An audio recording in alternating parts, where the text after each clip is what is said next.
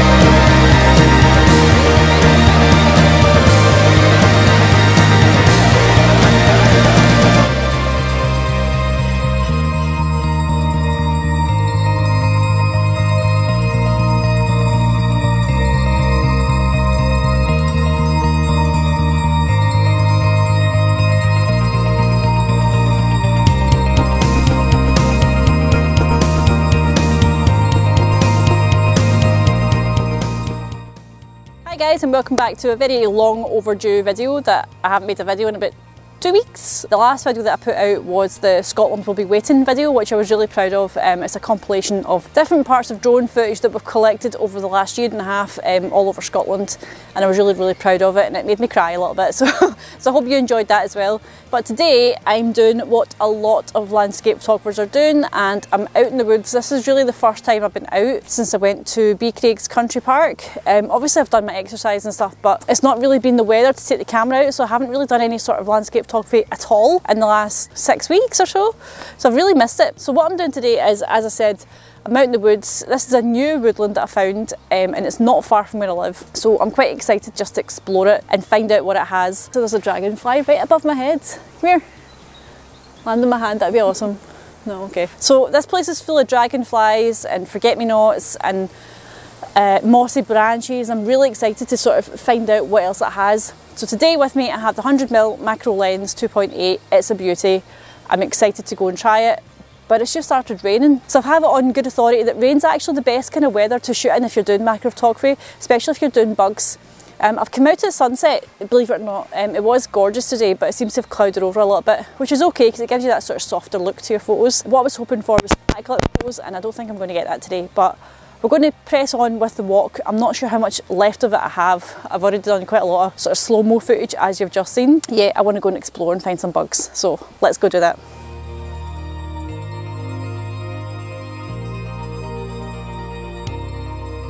So there's a nature reserve right next to where I live and it is there's an abundance of flowers and all different types of wildlife and um, there's breeding um, wildlife there just now and it's obviously it's a conservation area so there's tons and tons of variety of stuff that you can find down there. This was lovely. Obviously the railway walkway that I'm on just now actually was more fruitful for um, macro photography because you got spiders and and sort of cool little sort of hoverflies as you just saw. So I think it depends on what sort of macro photography you're looking to do. Obviously I went through the woods and it was a bit fruitless up until the very last minute. Um, it didn't really rain too heavily to create any sort of droplets on the leaves or anything like that. So I think tomorrow is to be sunshine. So I'm going to try that sort of style of photography and see how I got on.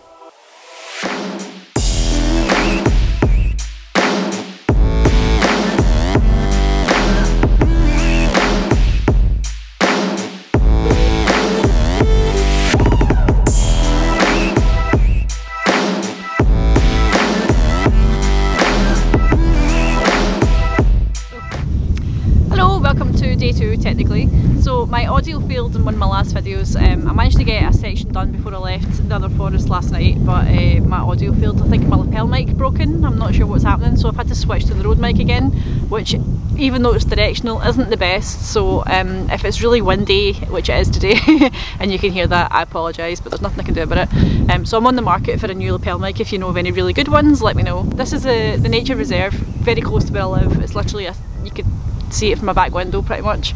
It's absolutely gorgeous. As you can see behind me, the fields are full of cotton. It's absolutely beautiful. Technically it's peat fields actually behind me. Um, I have noticed that people have been digging it up, which I'm not so happy about, but, but it's still a beautiful place to come. So, so far I've come the forest walk to have a look and I managed to find a ladybird which was cool but it wasn't your typical red and black one it was brown and white and I've never seen one before so I managed to get a shot of that. One thing I have noticed about macro photography as opposed to landscape photography, well they're kind of the same thing but kind of fall under each other, is that it's really windy today and that makes it really difficult. From my research, obviously it's better to come out at sunrise and sunset and that's usually because the wind is at its lowest. And I can see why that makes a difference because I'm actually having to hold branches in place. Apparently as well at sunrise and sunset the bugs and the insects are actually less active at that time of the day. So just now it's probably about 12 o'clock. This boardwalk up here is incredibly busy now so I'm trying to kind of stay away from it. I'm going to go through the next forest path now which I'm not going to go through the main path. I'm going to go off the beaten track and see what I can find down there. But I'm excited because over there we've got some beautiful dappled lights, but there's no way to know until we get there, so let's go.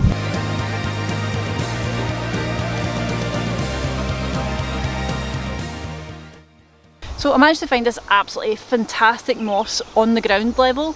I've come off the beaten track, away from the main track, um, which I'm quite glad about because it's very very busy today as you'd expect. This moss actually has a sort of spiky quality to it so it's really really interesting to look at for macro photography. I haven't found any bugs on it yet though which I'm quite disappointed about but um, but itself looking at it through the lens, through this lens is absolutely gorgeous. I'm actually shooting on manual focus for these kind of photos. In fact, I haven't used autofocus at all. I do have the stabilizer switched on and I'm shooting at the one to one ratio on the lens for all shots and literally what I've been finding is once I've got my, my subject and I can find it through the, it's really difficult to find them but once I've got it through the, the lens and I've focused on it it's a case of kind of rocking back and forward with your camera to try and get it perfectly in focus. And it's definitely one of the most challenging technical types of photography I think I've tried. This is very very technical but it's really good fun so we're going to continue through the walk and see what else we can find. I'm really hoping to find more bugs though.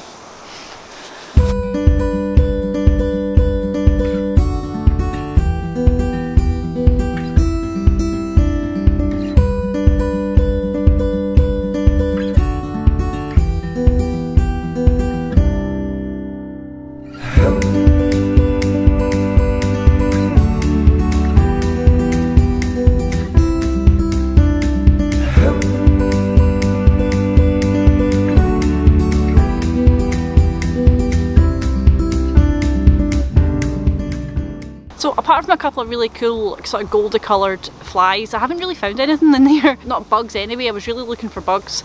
So I'm going to try my own garden, which I have to go back and get some lunch because I'm needing fed. So I know for a fact I have at least five or six different species of plants which have flowered at the moment. Hopefully we might get some butterflies and moths and all sorts of stuff. So, so we're going to go back to the garden, have a look at some plants and some flowers and see what we can find on them. And I need fed because I'm starving, so let's go do that. So we're back at the house now and I've already been out for a wee bit of an explore just to sort of preempt what I was going to talk to you about before I switched the camera back on and I'm really really glad that I did because apparently my garden is full of hidden surprises. The macro world is definitely completely different to what I expected it to be. I've done macro before but it was household objects so it's a completely different ballgame when you're talking about actual organic things. Also what I have in my garden is a forest flame which is currently going from yellow back to red again. I have uh, Asiatic lilies, I have acers and I have azaleas lots of Japanese varieties in the gardens. Most of the colours are out and it's absolutely gorgeous. The azalea's dying back a little bit but I'm going to take you out and show you them just now. So just before we go outside, word of warning, my garden is like a bit of a construction site at the moment. I'm getting stones put down at some point. They were supposed to be here a week ago, so they've been delayed. So I'm getting Glaswegian pebbles, and I'm not even joking about that. But they're not down yet, so the garden's just got tarpaulin everywhere, so it's a bit of a mess. So let's go and have a look. One of the last things I found was actually this tiny, tiny, tiny little spider in this web. He's about that size in reality. Um, and I hate spiders, so for me to get this close to a spider, it has to be that size. um, but he's really, really cool, and as obviously as you, as you see in the B-roll, he's a really cool spider. He's got sort of loads of different colours in his back and stuff as well. Um, and he's quite happily sitting right in the centre of his web, so he's very photogenic as well. So I got him, I actually shot him from the back, and I shot him straight on but I actually preferred the straight on shot because you got all the vibrant colours behind them which gives them that sort of red yellow background as well. So this is my rhododendron. I bought this in B&M's for 99 pence and it was that size and it was giant, it's taken over. I had to actually dig it up because it was taking over the garden. Inside the flower there's a sort of silver pollen, it's absolutely gorgeous so that came out really really nice. There's also some ridges on the petals as well, so I managed to sort of focus stack them so that you can see them better as well. So this is my pond, no I'm only kidding. This is the what's left over from the raid that we had, um, so this is also going to get tossed. But inside this, life has already started to, to sort of make itself at home. And um, we have quite a few dead bugs and we also have quite a few spiders living on those leaves. There's also some wispies off of dandelions which have landed in here and they look really really cool underwater so I photographed them as well and they've got that sort of icy look about them in macro form, it's really cool. So I also photographed that and that is a strawberry plant which is just starting to flower. So this is my hosta plant and I cheated with this one and I put some water on it to try and get some droplets um, the thing about this is the sun is hitting it straight on, you can see my face. It's hitting it straight on so it's very very contrasty but what I like about that is it's bringing out all the different lines in the leaves and in macro format that looks absolutely fantastic especially with these water droplets. So last but not least these are my Asiatic lilies and for this particular shot which I'm just about to show you just now it was uh, these buds here that I was photographing and as you can see at the top of them they've actually got like a purple hue at the top of the buds. I'm not sure why because they come out red when they're blooming so I'm not sure why it's purple but I put some water on them as well to sort of add a couple of droplets but mostly just to saturate them and to bring out that depth and the colour in them. So under the scope of a macro lens that looks absolutely phenomenal and it kind of has that sort of bug eyes look about it. I was hoping to find some massive massive bugs and beasties but apparently there's none in my garden apart from that one spider and me.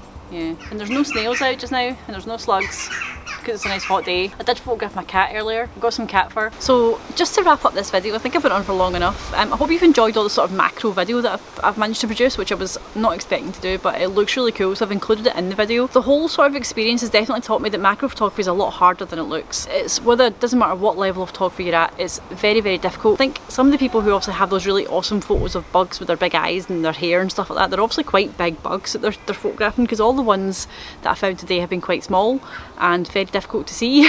and very difficult to focus on as well. Even with that sort of rocking in and out motion, you're not really getting the detail that I was expecting. So even using a tripod as well, which I have done today as well, it has definitely taught me that you need to kind of slow down. You can't treat macro photography the same way you would treat normal landscape photography. You have to slow down, you have to be more aware of your surroundings you have to be more aware of where the bugs and stuff might be hiding to go and find them. So it's definitely taught me a lot I have enjoyed it very much and I probably would do it again in the rain just to see what just to see what difference that would make to the shots as well. I hope you enjoyed today's video and if you enjoyed this video then like and subscribe and until next time I'll see you soon. Bye!